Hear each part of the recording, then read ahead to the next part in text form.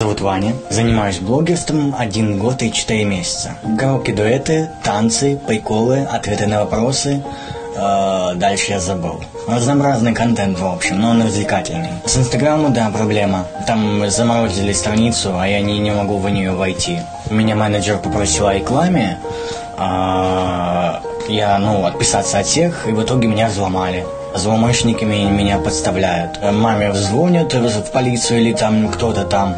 Говорит, что я типа где-то заменил школу, но на самом деле этого не делал. Я нахожусь дома вообще. А вчера это в Ленинграде это произошло, хотя меня вообще нету там. Мы пошли, по-моему, в полицию, написали заявление.